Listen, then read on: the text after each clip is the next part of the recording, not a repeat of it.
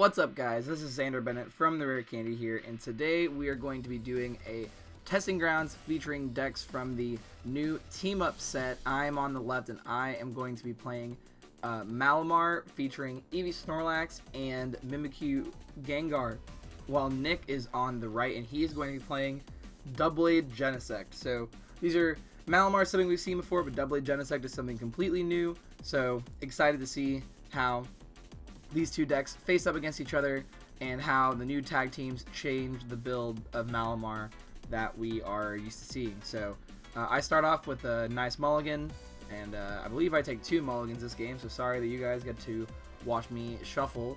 But um, I was, uh, not to reveal too much, but I was pretty impressed with both these decks. I think that both these decks uh, show off a lot, and uh, I think that they're, they're definitely going to be strong going into this next set. Yep, there's mulligan number two. Uh, nothing too interesting that Nick needs to know about that hand, except he saw, I think, a Pal Pad in there. Um, but, but yeah, no, I, what I was saying is I think that both these decks uh, surprised me a lot. They definitely ended up being better than uh, I thought they were. And uh, I think that they will have strengths to keep up with the rest of the metagame, so I'm excited to see more of what they do.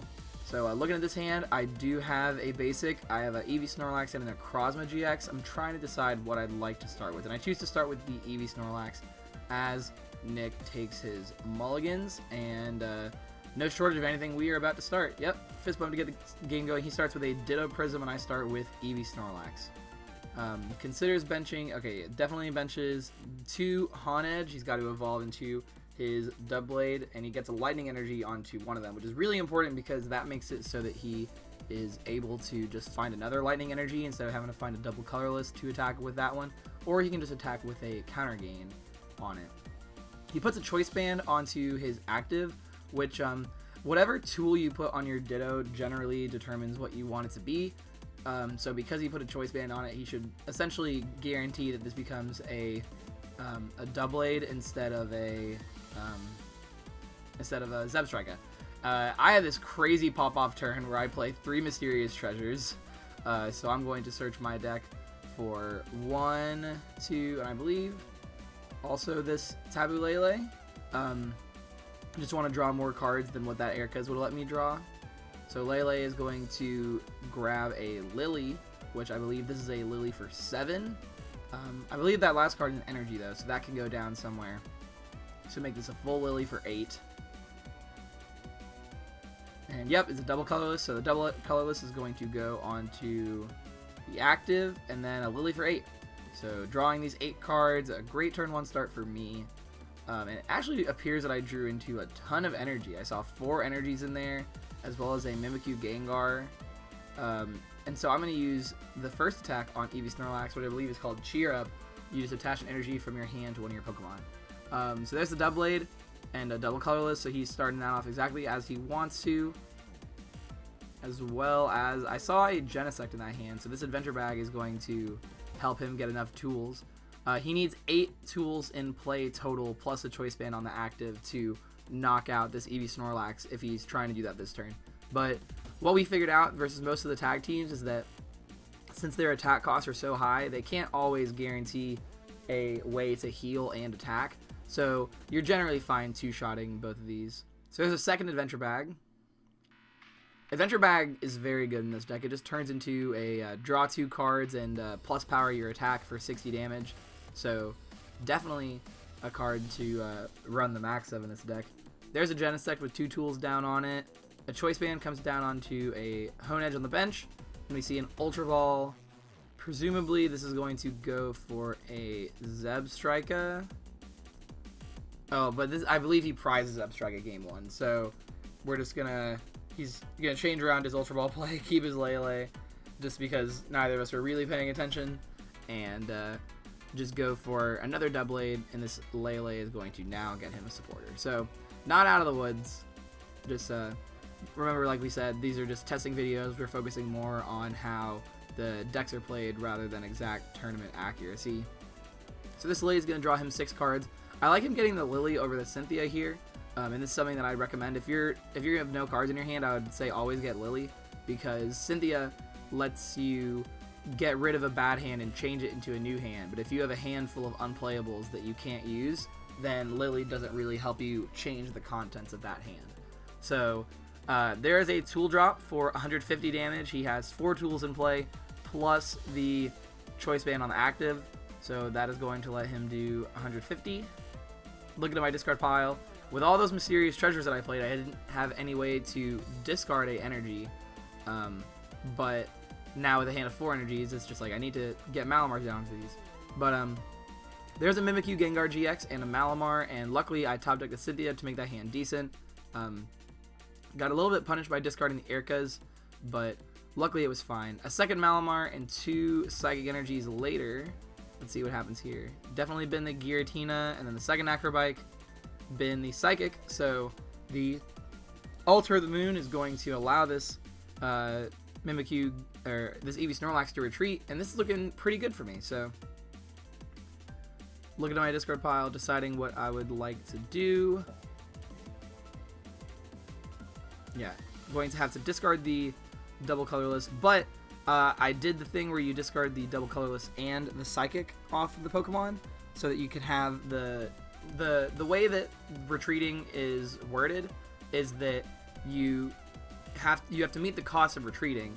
So if you discard the psychic and then the double colorless, the psychic cost is one, and the double colorless provides the second one. The game doesn't just overrule that double colorless provides for both. So was able to do that to move the energy off of the Genesect to put it on this Giratina and uh, use Poltergeist looking at his hand of I believe exclusively all trainers at that point. So doing a ton of damage there. Throws in a skateboard down onto the Lele. And he's got a, a, a pretty decent hand. He's got to try to rip the Zebstrika here soon to continue drawing cards. Um, but there's a Nest Ball just looking through his deck to see what all he has. This could be for a Genesect. I believe this might also just be to check the contents of his deck because he seemed to have a pretty decent hand. Okay, so we see a Ultra Ball and a Counter Gain. He does have he can put the double colorless on the other double to attack, which is kind of a bummer, but it might be what he needs to do. So there's an Ultra Ball, discarding a Honedge, I believe, and a Counter Gain. Okay, so he's just going to Lele for Guzma on my Eevee Snorlax that has so much damage on it, just to take the three prizes to see if he can rip Zebstrika and help develop his board. Um, kind of stinks he has to put the double colors onto a Pokemon that already has the lightning, but when you're taking half of your prizes, it doesn't really matter at all. Um, so I Ultra Ball, and I'm discarding two Psychics, which is exactly what I need to do, and I'm gonna grab a Eevee Snorlax. I don't think this is going to be used. I think this is just thinning out my deck. Those energies are probably gonna go onto this Giratina. Um, and that looks exactly like what's going to happen with a double psychic recharge. Both energies go on to the Giratina. The Altar of the Moon is going to allow me to retreat on my next turn. And now I'm retreating and just going to use Giratina's attack for the knockout. The nice thing about Giratina in this matchup is that it's a one prize attacker that lets me just kind of mix up the knockouts that he's taking, but also the damage from Giratina's attack doesn't matter at all. So, very nice. A rescue stretcher gets Nick a Doublade back, and he already has a double colorless in his hand, and it does appear that he got the Zebstrika. So Sprint is going to allow him to discard his hand and draw four cards, and this is where we start to see the strength of the Doublade Genesect deck show. Whenever Zebstrika gets out, the deck just goes insanely fast and does so much damage. You draw so many cards, and it just helps your deck so much. So he, uh, in that hand, I see an escape board that he can throw down if he wants to. Where he's in his head, I think he was talking about if he's playing around Field Blower because this is game one. Even though he knows it. I don't play Field Blower, but we were just talking about what would it be like in a tournament setting, of like expecting um, what your opponent plays, whatnot. But his logic here is that since he's playing so many tools and he hasn't discarded a ton of them, it was hard for me to see the discard pile as I fanned through it. Um, that he still should have a handful of tools. But we see a Cynthia. He's going to draw six cards off of this, so pretty great turn for Nick. There's a Ultra Ball that will let him do some get a Doublade next turn, and right now just a tool drop with the one, two, three, four, five, six tools that he has on his bench. So this is nice because he was able to take a knockout on the active without having a tool on the active. So the active is going to stick around Uh, and if it gets knocked out, he's not losing part of his tool quantity.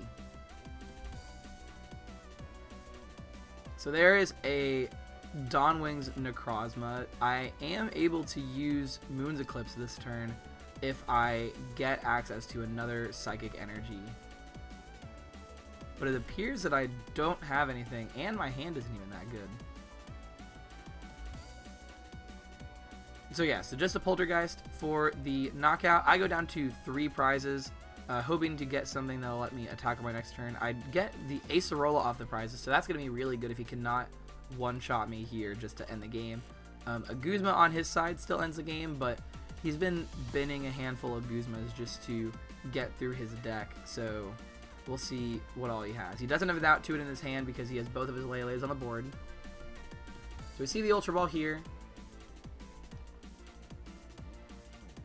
going for a Tapu Koko Prism Star. Okay, so with the lightning in his hand, this is going to allow him to already have energy ready for the Doublade to attack. And we see him chuck the Tapu Koko over to the Lost Zone and get his... There's only one lightning energy in there as far as you can see. No, there's a second one. Just trying to figure out where he wants to put the second lightning. And uh, he puts it onto one of the Lele's in case the escape board goes away.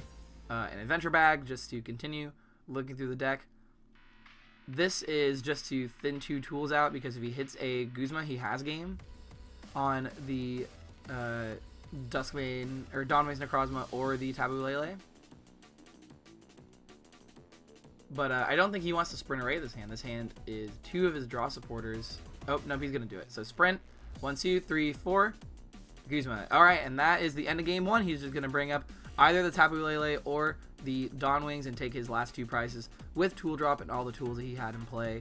So that game was over in a, a quick showing of the power of Tool Drop and how it's just able to come out of the gate and do a ton of damage. So for that, for this next game, I'm looking to just not let him take three prizes on my tag teams. Looking to use that Acerola to my advantage, but also just change the uh, the Pokemon that I'm attacking with a little bit to kind of help uh, in this matchup in terms of with him taking so many prizes. Um, but uh, Nick just hopes for the same thing to happen. That was uh, really working really well for him. And I believe right now we're looking up what the exactly a card does. We're just trying to make sure that we are not playing things wrong. Um, so, so Nick mulligans and I also mulligan. So back to shuffle cam. Uh, we're just both going to be setting up for the next game. But but no, I think that um, but no, I think that last game, like I was saying uh, at the beginning, I was very impressed with both these decks, and the last game showed off Tool Drop very well. Um, even Malamar set up, it, it, did what it wanted to. It got two Malamars out. I got energies on the table most of the time. It was just overpowered by the large knockouts that Tool Drop was able to take, and I think that's one of the things that makes it so strong, the Tool Drop deck, because it can just um, like it can deal with the tag teams, not all the other decks can. So I believe I'm starting with a Mimikyu Gengar and Nick gets a second mulligan, so...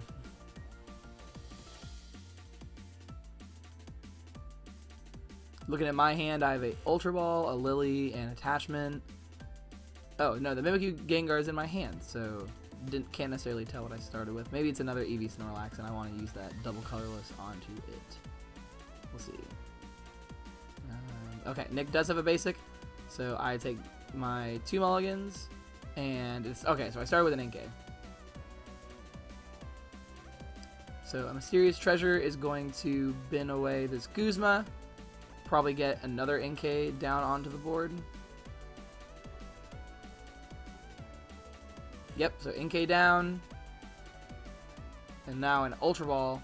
This is going to be presumably getting a attacker or something for me to put that energy on, I would like to think.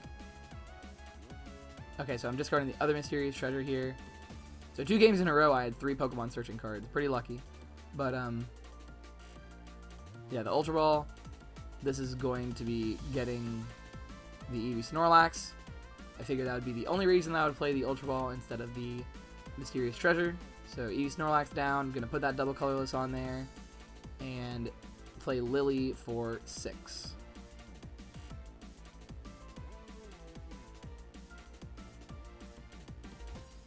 So before the Lillie, I did have the option of benching the uh, Mimikyu Gengar, But with one tag team in play, it, it's hypothetically best to try and have as few of those in play as possible because if you have two of those in play, your opponent can just kill both of them and take six prizes. So, because I have the Acerola in my hand as well, just looking to leverage the power of that card and uh, try and use one of these tag teams at a time. So here's Nick. He's trying to figure out what tool he wants to put down. He puts his skateboard down on his active. Nope. His skateboard down on the on the Blitzle. And we see a Lillie, I believe, for six coming out from him. Yep. Off of that, he drew a Genesect, so that's looking pretty good. As well as a Energy. Flopping around with his cards. The Genesect is going to probably get a tool put down on it right now. His hand doesn't appear like it has a supporter though, so I think he's going to have to hold on to that Ultra Ball to get a Zebstrika, and he's just going to pass. Um, so there's a Mimikyu, Gengar, a, uh, a, a Psychic, and a Switch. Sorry for the stumble. And this is going to be a pretty awesome turn for me because I'm going to be able to use the GX attack on Mimikyu Gengar to um, to give myself an extra turn of setup. That appears what's going to be happening with that switch. So Cynthia drawing six, four, five, six. And uh, yeah, I think this is just going to go straight to Horror House and just kind of give me another turn. Yep. Bam. So there we go. Nick's turn is draw and pass because he cannot play any cards from his hand. I didn't have the extra energy requirement, but that is completely fine for me because this is just giving me a turn of getting my board established. Trying to decide, do I want to bin the Acerola here? I think I just bin the Pal Pad instead, which is fine. Um, I wanted to have the Acerola in my hand instead of in my deck. Um, I could have discarded the Acerola and then Pal Pad at the back, but it was more important. Okay, well, if I'm going to play the Cynthia, then I don't know why I did that.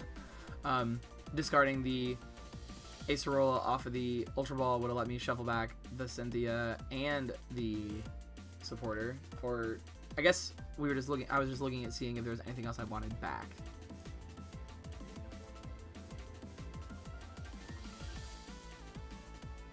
So I have a Psychic Energy. That's going to allow me to attack, but I'm also going, since I also have the double colorless, and the Eevee Snorlax has less value over the entirety of the game, I'm going to go ahead and use that to just do plain 120 to this Honedge and get it off the table. Um, so now Nick is left without any Honedges, so I feel like I'm in a great spot. Um, but let's see what Nick does. Nick plays a Nest Ball. He's going to get him an another Honedge. Going back in. I believe he's going... I believe there's an Ultra Ball. I think what he's considering to do is what he wants to discard. Um, throws a Metal Goggles and a Skateboard onto the Genesect, as well as a Lightning Energy. Nope. The Lightning Energy would have allowed it to retreat if it ever needed to, but I think what he's thinking is that in his... Um, on his board he already he already has a Blitzle that can um, retreat for free even when it evolves into a Zebstrika. So uh, he plays a Lele, shovels in a hand revealed of three Doublades, and now is going to Cynthia and draw six cards. So let's see what all he gets off of this. He's looking to get some more Honedges down. That's really what he needs. I was able to capitalize on his board state by getting rid of the one Honedge. Um, if you listen to the set review, I talked up Mimikyu Gengar's GX attack like a storm, so there it is in action. Uh, there's a Zebstrika, though. A turn 2 Zebstrika seems really solid. Um, he has the Tapu Koko Prism Star. He's trying to decide what he wants to do with it. Um, I believe that since he already has a lightning in there, he's just going to go ahead and use it just to... Oh, yeah, since he already has the two lightnings in there, absolutely, yeah. And there's another Nest Ball, so he gets all three of his Honedges down that were not knocked out on that first turn. So this is really strong, and the adventure bag is going to allow Nick to get some more tools, put them into play. So he's not going to be able to attack this turn, but he's definitely going to be set up for the rest of the game. He has two Honedges that are just one lightning energy away of attacking, and one that can just attack with a double colorless once he draws it. So so this is looking really good. Yep, and so Sprint was discarding the Guzma, not anything else.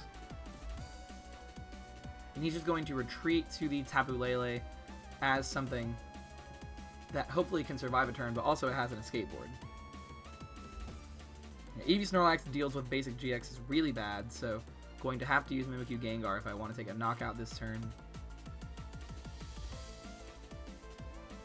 Just checking out my options.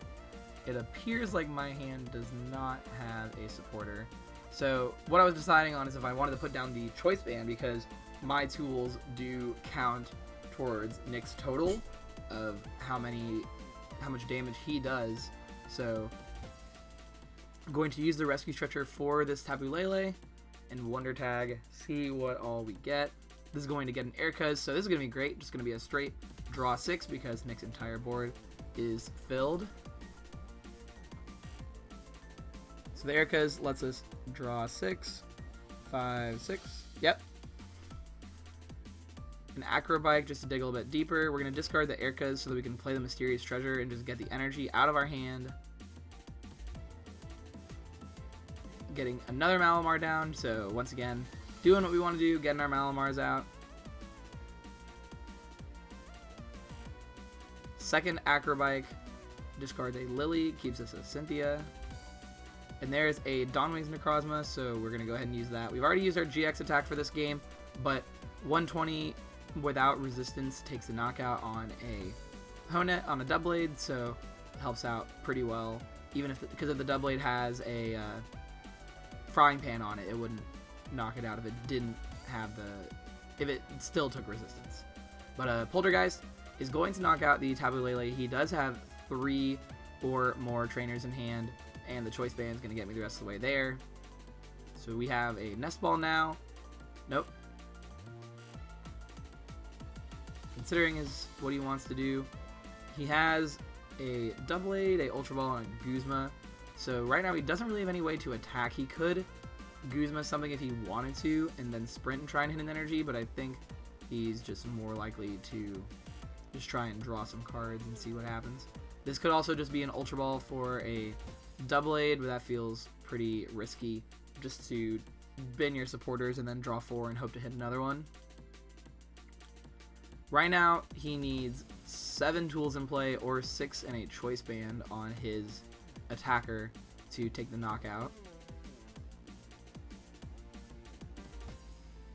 So right now, we're oh yeah. So right now, he we're just saying that he evolved the one that did not have the choice band um, when he could have evolved the one that had the choice band. So just moving the energy attachment and his uh, evolution onto the one that already had the choice band puts a counter gain down onto the uh, onto the Honedge, but we, we decided to put it on the one that already has lightning on it so that he can just go that attacker is already powered up for as long as he is behind he can just use the other one with a double colorless so the placing of where your tools go is very important if you've learned anything from this past 30 seconds of video but um I think it definitely offers a pretty high skill ceiling in terms of uh, where your attachments go, where your tools go, what what tools you get off the adventure bag. Uh, so there's a sprint discarding his hand and drawing four cards, and I do not believe that he got all the tools that he needed to take this knockout. One, two, three, four, five, six. Oh, okay. So this is what we did wrong. Uh, so um, we forgot to count the choice band on my active, which we realized uh, about the next turn and so he had a choice band that he could have put down to take the knockout because right now he's doing. Uh, we thought that he was only doing 180 with what he had on his board, but the with the five tools and the choice band um, on his active. But if he if we did count the one that was on my active and the choice band that he put down, then the Mimikyu Gengar would have been knocked out. And so he's playing down the choice band anyway. But um, that's on us because we didn't realize that he would have been able to take that knockout. Um, but yes, tool drop does count your opponent's tools in play. I remember agonizing over whether or not I wanted to put the tool down, and then when it came to next turn, we didn't even remember that you weren't allowed, or that the tools did count the opponents. So I think that's what we were talking about right now as he is shuffling.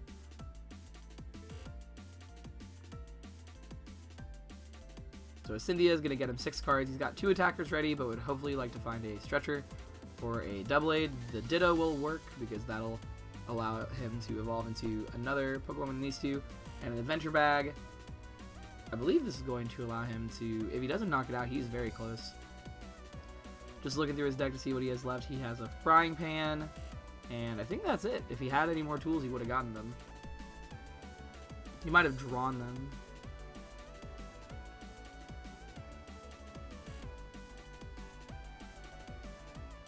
So here's a retreat, and he's going to go ahead and use the one with the counter gain on it because he's not taking the knockout.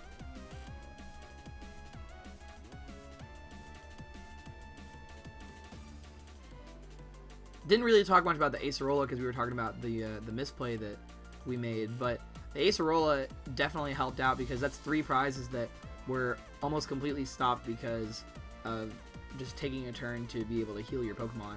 Um, the one of Acerola and the PAL pad to get it back if you need to definitely offer enough utility that I think it's worth it in the list. Uh, the tag teams are so huge that it's just a very nice tool to have. Um,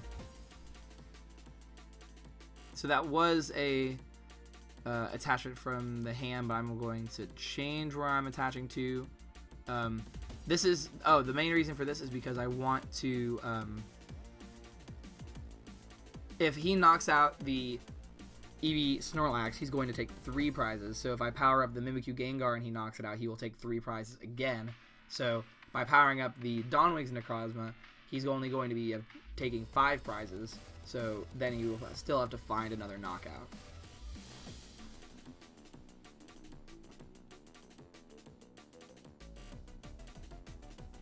An Ultra Ball discards a Giratina and a Psychic just to thin out my hand, getting a Inkay, though obviously I have no more bench spaces to put it down.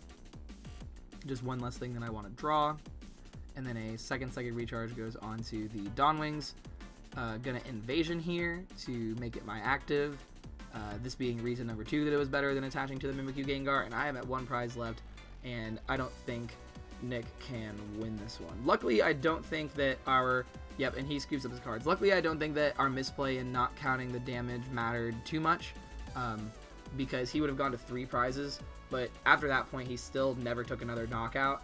But um, just make sure that if you are playing the tool drop deck, that you are counting the tools that your opponent has in play, and be sure that your opponent makes those visible. Feel free to ask them so that you can see what cards they have on the table. That's completely legal, um, and I recommend that you do it because I think that's part of why we were miscounting is because we couldn't necessarily see my choice band.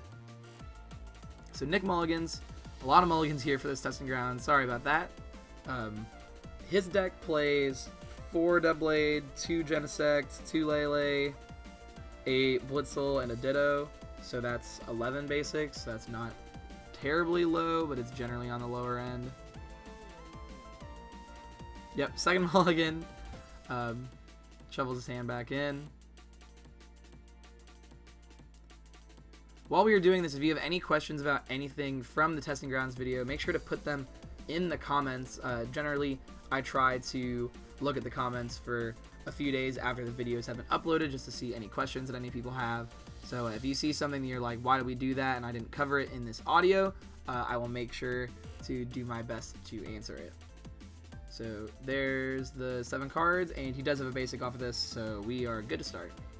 So I take the two mulligans, and here we go. So I start with a Necrozma. Not really a great starter. Necrozma's a really inefficient attacker versus his deck, and there's nothing really that I want to Black Ray.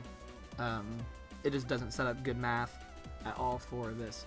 So he's going to get a Honedge and a Ditto throws a metal goggles onto the Doublade.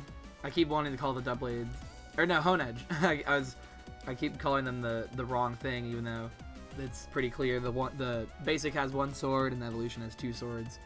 Um, so here's an adventure bag. Going to be getting a choice band and a choice band. So um, putting the choice band onto the Ditto essentially should lock it into being a Zebstrika. But um, don't want to reveal a little bit too much about this game, but I think that's part of uh, Nick misses a beat at one point, and I believe that's part of why Uh, just be very careful about where you're putting your tools down. Um, so there's a Cynthia shuffling to draw his cards. One, two, three, four, five, six. And this hand is actually looking pretty good. He had two Doublades as well as a double colorless to attack on his next turn. Um, I draw a Psychic, which seems pretty good here, especially with this Ultra Ball that I have. I'm to discard both of those. Get a Inkay.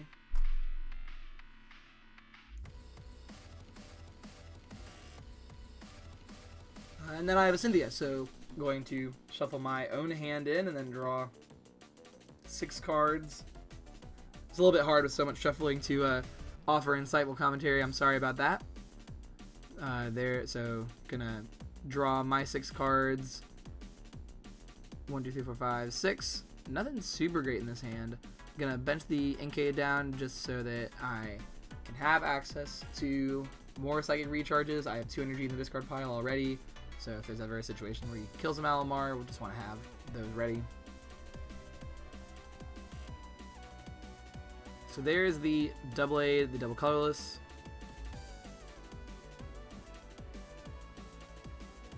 And then a Tapu Lele. And he's also, nope, not playing the adventure bag. Going to get a supporter.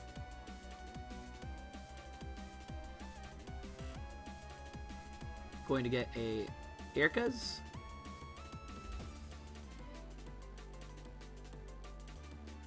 Okay, so he is going to play the adventure bag.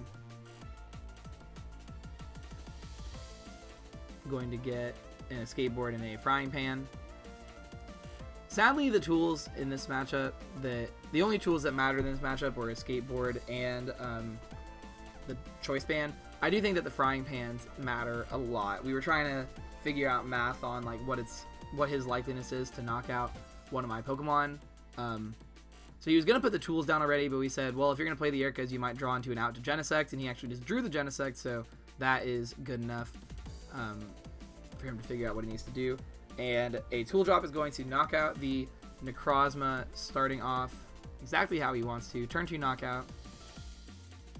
I'm going to play a Erika's of my own So with this large hand, I have a lot of options. I have an escape board that I could use to retreat, and I have a switch, so depending on if I'd like to put another tool down, those are both options that I can consider. Gonna throw down the Dawn Wings, attach return, and then Ultra Ball. Nope. Mysterious Treasure. Sorry, discarding the Choice Band.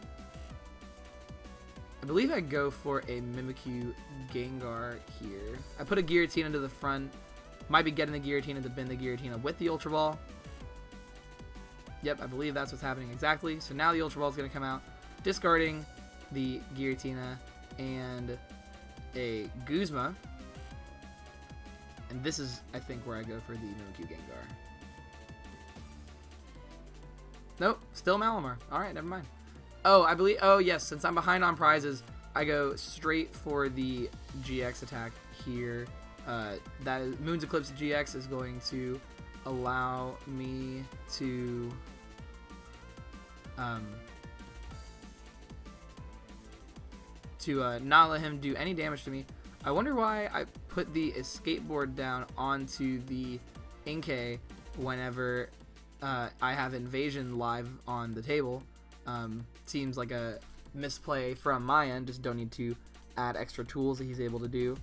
I guess I was thinking that if he had any way to knock out the Eevee, uh, sorry, the Dawnwings Necrozma, that I would want a Retreater, but I still have the Switch in my hand, I believe, so not necessarily the best play from my end. So there's a Doublade. He evolves the Ditto Prism into a Zebstrika. Um, kind of sad because that choice band's going to waste. But uh, we here's we see a Ultra Ball discarding two Lillies, Nope. Sorry, we there. There's a lot of uh, us talking about figuring out what's the most optimal decision, and uh, he just decides, well, there's nothing that I really want to get with this Ultra Ball. Don't want to discard two of my draw supporters, so I'm gonna go ahead and go for the Cynthia. But no, sorry. Like I was just saying, we're trying to figure out these decks. Uh, both of us are a tiny bit rusty because we haven't played in as many League Cups, so this is some of the first Pokemon that we've played in a while. But um, just trying to figure out what's the most optimal way for these decks to be played. Uh, Nick definitely has the harder challenge than I do between trying to figure out where to put his tools down and what tools to search out for and uh, how to bench his Pokemon exactly like that. So Nick's in the tank. I don't believe I saw any energies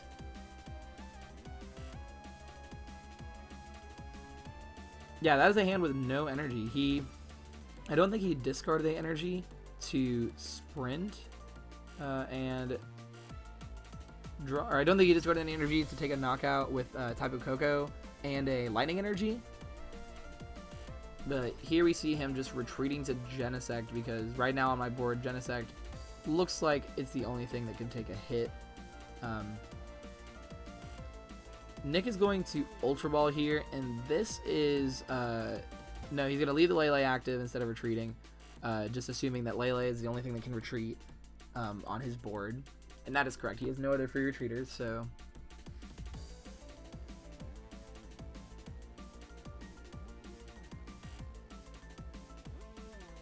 Still contemplating what he wants to do, and he just decides to pass. So I, I top deck a Mimikyu Gengar, pretty nice draw. Um, going to retreat to the Inkay and use double psychic recharge onto the Mimikyu Gengar just so that it can uh, attack. And then now the switch comes out. So if I if he has four items in his or four trainers in his hand, he gets knocked out. Um,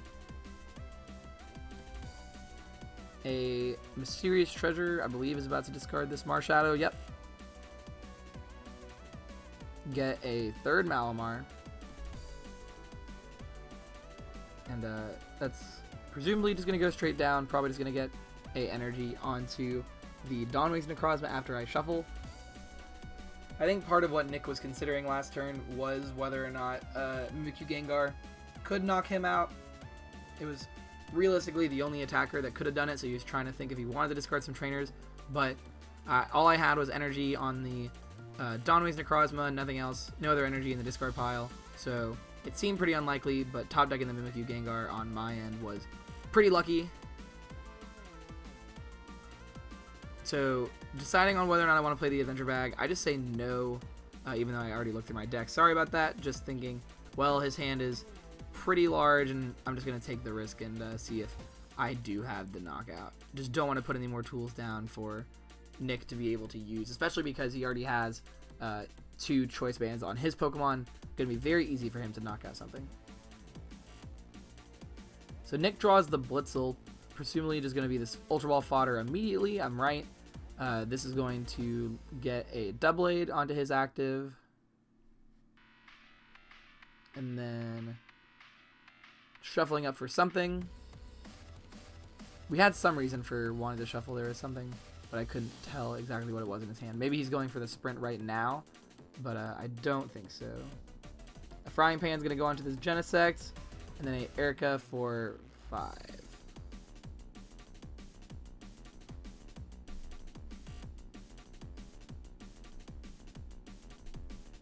So Nick's hand right now, uh, he has two lightning energies and his Tapu Koko on board and an Ultra Ball, but he has no way to attack with this Doublade. And uh, I'm sorry if I spoiled it earlier, but part of that is because since he didn't have a free retreater on board and he didn't search out a, a, uh, escape board with the early adventure bag to put on the Ditto that eventually became a Zebstrika, he is unable to use his attack because what he would be able to do is he would be able to save one of those lightning energies, discard just one, and then retreat from the Zebstrika into it, and then take, I think, a knockout because I have the escape board down on my Pokemon. Um, one, two, three, four, five, six, seven. If he had one more tool, which I believe he does have a tool in his hand, then he'd be able to take that knockout. But like I said, with the absence of a free retreater, he is unable to do that. Yeah, so he has the adventure bag, so he could have taken a knockout if he had a escape board, which is a huge bummer, uh, not having that free retreat Pokemon. And it wouldn't have worked even if he put the escape board on the Tapu Koko and sent it up active, because Tapu Koko needs to be on the bench for you to use its ability. It can't be active.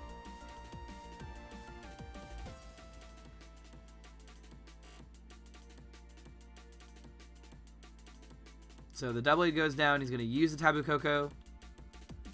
get two lightning energies onto the board, but like I said, this is a huge bummer because he is pretty behind. This Lele goes for a Lillie, just to thin out, see if he draws a double colorless. This turn's taking a little while, so I don't remember if he's sprinted yet. And yeah, I don't think so. So that's it. And no double colorless in sight. So uh, again, he's stuck without an attacker. And luckily, he's still kind of in it because he has four prizes left, and I have uh, more than that or the Pokemon on the board. He could take four prizes in the uh, turns that I'm going to take three unless I knock out a GX. But like I said, this is a huge bummer for Nick because had he had that escape board, he would have been able to retreat and take a knockout on this Mimikyu Gengar and then go down to one prize left. So I, I know I've said it before, but just be very careful about where you put your tools because uh, where you put your tools matters a lot. I'm going to retreat the Mimikyu Gengar, just go for an attack with the Dawnwing's Necrozma because Dawnwing's Necrozma is going to be able to knock out this without being at a risk of letting my opponent take three prizes. Um, just going to fail the Ultra Ball, just get some cards out of my deck. Nick doesn't play any counter stadiums, so that Altar of the Moon is going to be good enough. And then retreating here to the um,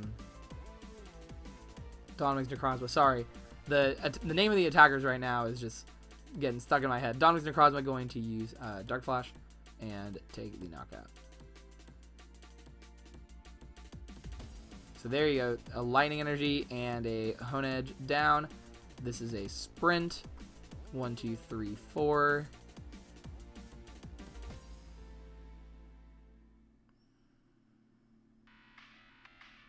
Oh, so uh, so we redid this. Uh, this is something um, random, but uh, I think it does matter. He um, he's looking at what's going to cause him to lose right now, and he sees that he's going to take a knockout on the active, and then there's the Mimikyu Gengar and the Eevee Snorlax. The Eevee Snorlax needs uh, a Psychic and three energy on it to knock out this Doublade, but the Mimikyu Gengar needs just the two energies, which he already has on the board, um, to use Poltergeist. And so Nick didn't want to sprint because he didn't need anything, but also he didn't want to make it so that his hand had enough trainers in it to get knocked out. Um, so there's a Psychic off the top. So I could triple Psychic Recharge onto the Eevee Snorlax. I think I'm trying to see if I can win the game this turn, knocking out a Tapu Lele. Okay, so Giratina is going to come down, put the damage counter onto the Tapu Lele and the Genesect. One and one on each with Distortion Door.